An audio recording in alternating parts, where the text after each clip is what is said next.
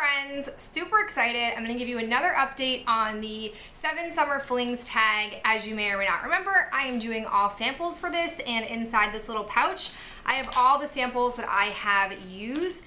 I am really dwindling down on the number of products that I have left, which makes me really excited because I have just done a real clean out lately of samples. And since I'm not getting nearly as many subscription boxes as I had gotten in the past, I am really starting to notice that I can get into the full size items and even those are kind of dwindling down in certain categories. So I'm just really pumped about doing this particular challenge. So let's go ahead and talk about the things that I've used.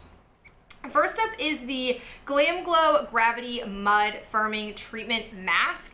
This is the one that's silver. It had a lot of praise when it first first came out and I watched a lot of videos on the review and everyone kept saying, hey, you should really do a thick layer. So I did and so this only was able to cover like about half of my face which really freaked Ben out when he came into the uh, bedroom and I'm just sitting there with a half silver face. I really did like this, but I'm not someone who's super into firming. I like this more for the novelty of the silver and the way it felt on my face, but right now I'm more worried about acne control and fine lines. So I don't necessarily think I need this, but I enjoyed the sample and wouldn't hate having more samples of it. I also use the Murad Invisiblur Perfecting Shield. This is a broad spectrum SPF 30. It's supposed to treat, blur, and protect. I'm a little unclear on if this is a serum and a sunscreen or if it's a primer or if it's all three of those things. I kind of used it as basically a serum. I would do it after I washed my face and put moisturizer on. I would then add this, but then I would then put a primer on. Um, I'm really on the fence on Murad products. I think that they're really pricey, which is why I haven't taken the gamble. I've heard a lot of great things about them, but until I get maybe like a sample kit, which is a 30 day supply or something like that, or even like a 20 day supply. I don't know how I'd feel about it as a line, but this wasn't necessarily bad. I'm pretty sure I also, yeah, I used the foil sample of it as well. Additionally, I used two more of the Urban Decay Naked Skin. Um, these are actually like concealer shades almost. I think that they're meant to cancel out any kind of veins or redness. 3.5 and 5.0. Um, these definitely are darker than my shade, but I feel like it doesn't really matter because I'm just putting any kind of eyeshadow over it. There is a, another one of these though. I think it's in like maybe eight. I'm not sure. I can't remember the number. I don't know if I'm going to actually use that one because it is fairly dark for my pale, pale complexion. So I'll crack it open and figure out if I'm going to use it or not. Um, if not, I'm just going to take it out of the challenge and I'll update you guys.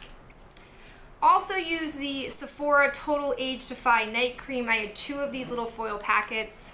Nothing noteworthy. The YSL Touche Clot uh, I think that's how you say it. I'm probably saying it wrong. Little sample here. This was actually really, really nice, but it is expensive, so I won't necessarily get it.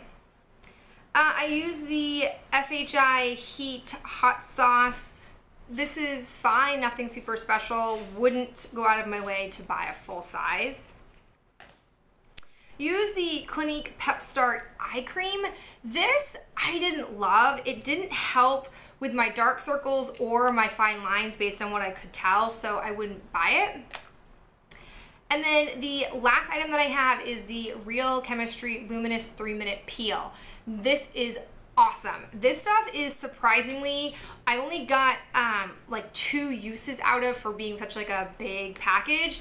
I have been struggling with exfoliating my face on a regular basis and I noticed that it felt like there was a buildup on my skin, like not necessarily product buildup or anything, just my skin felt like it had built up a layer.